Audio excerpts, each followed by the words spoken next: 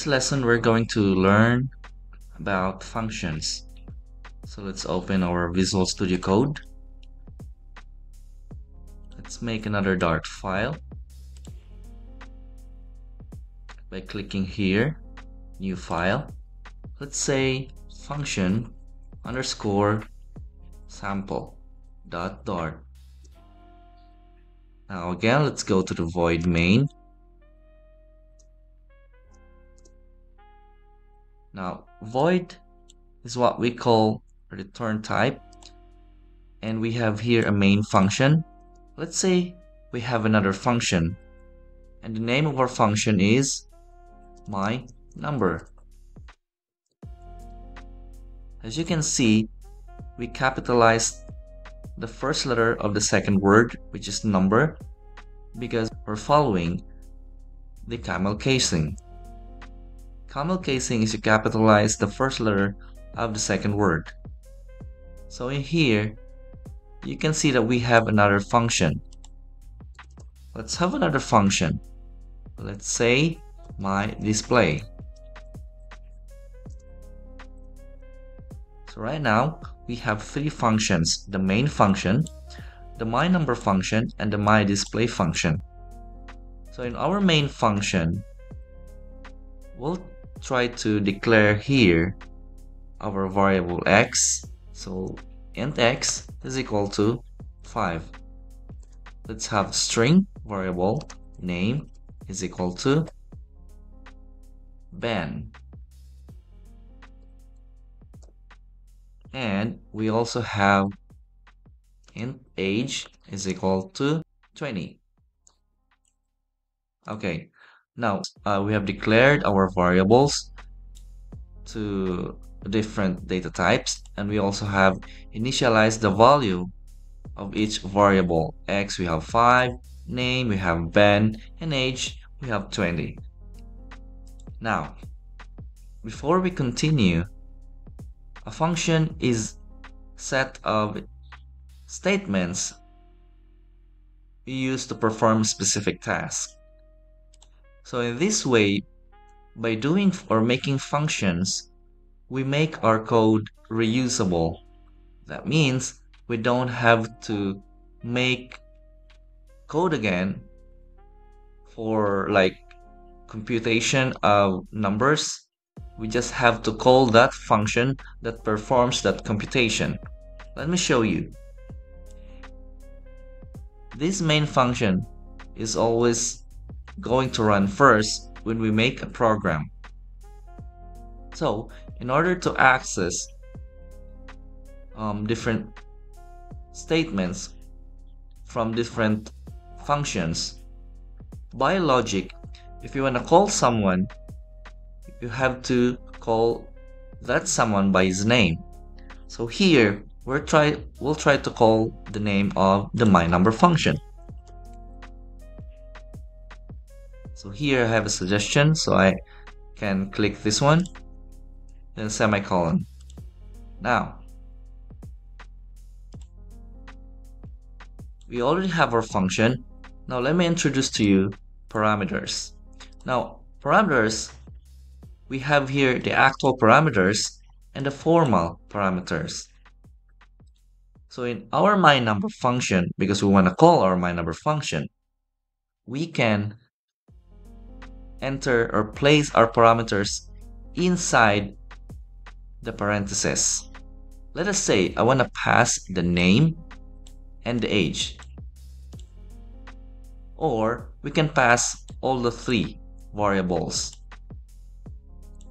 So let's type here x.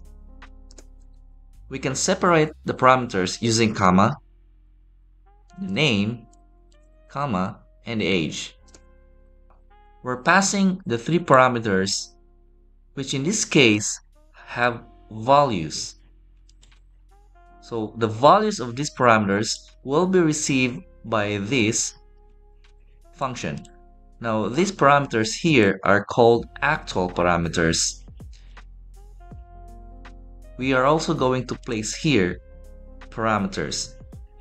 Our x has a data type of integer that's why we place here int. then we also have our variable name. Now, we can name a variable which whatever we want.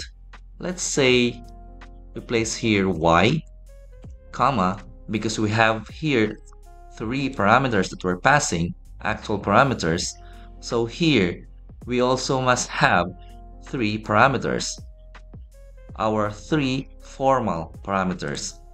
So we type here the second parameter, the name has a data type here string, so we type here string. Then the name of our parameter, let's say p name, comma, and the age, p age. Now underscore age. And this third formal parameter here is of integer data type, so we can type here also int.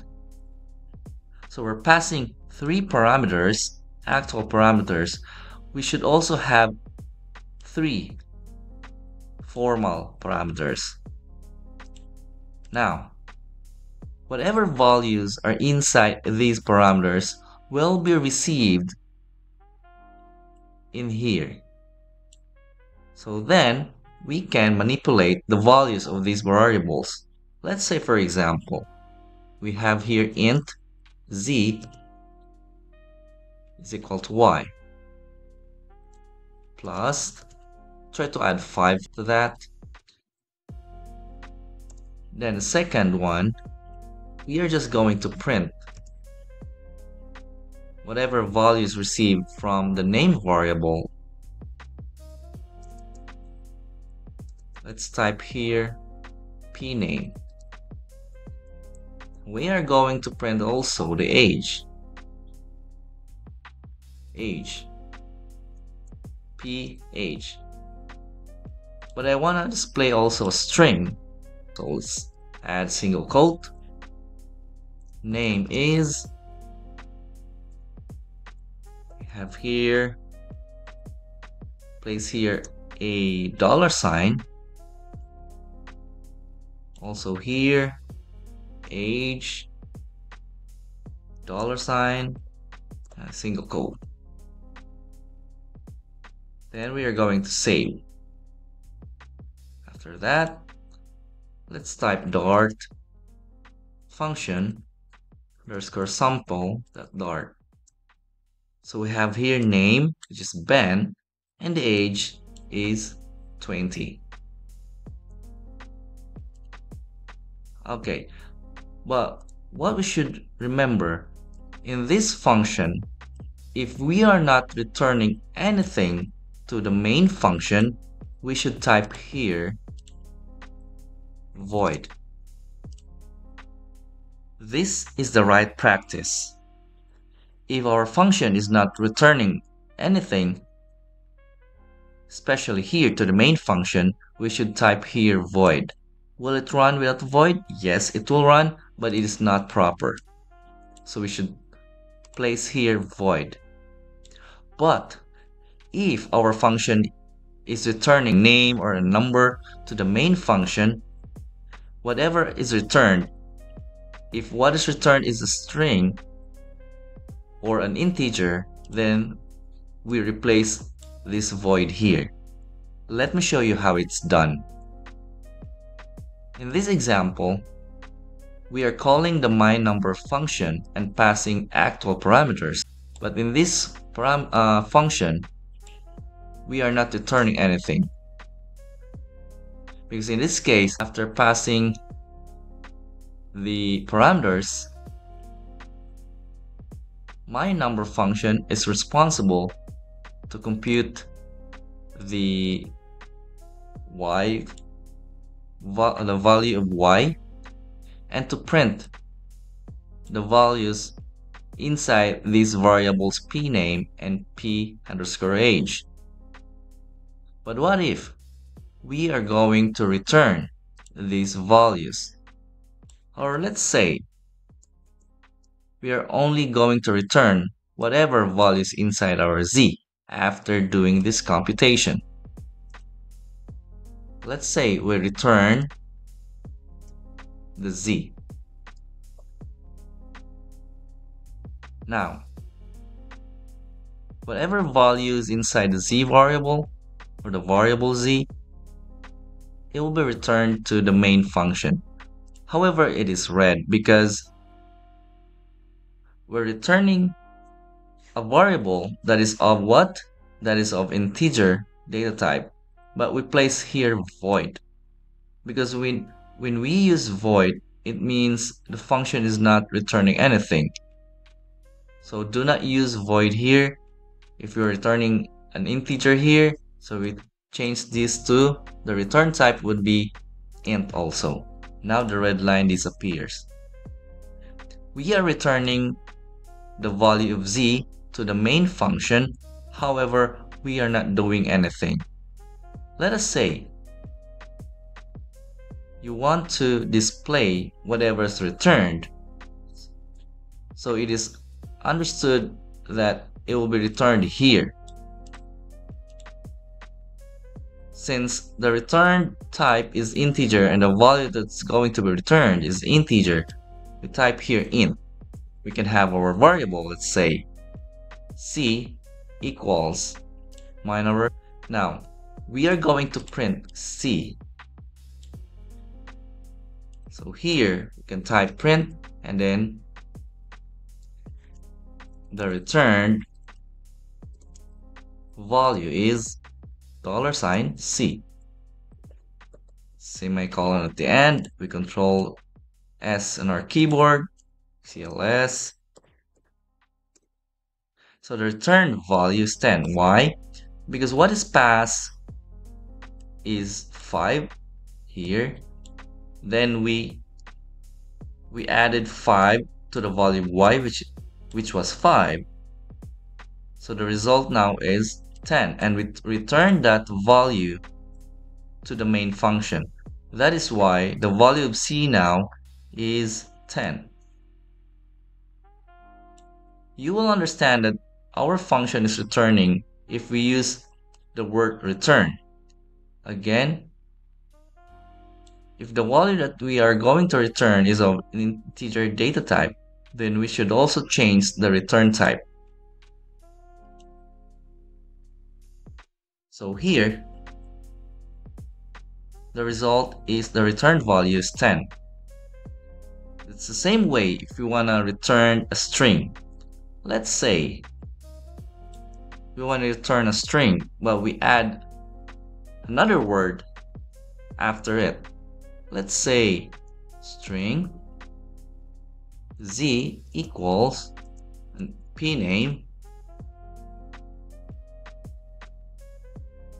Let's add another word to that. My name is p name. And we add add a dollar sign now again we are returning a string, that is why we have to change also our return type. String. And here, because we are receiving a string value, then we should change this to string. Save it. Let's run our program. Now the return value is my name is Ben. Now, in this code, we can make it simpler by not putting the result to a variable, instead printing it directly. How are we going to do that? We'll just make this as comment. And in here, you can type here print, an open parenthesis, and in here, a closing parenthesis. Let's save it. Let's see if the result is the same. Yes, the result is the same.